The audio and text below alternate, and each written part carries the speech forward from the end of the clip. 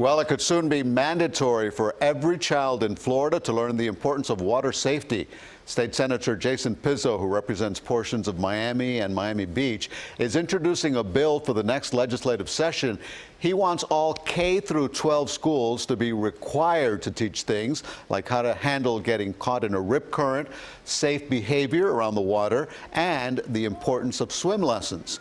The bill would not mandate that students actually take swim lessons.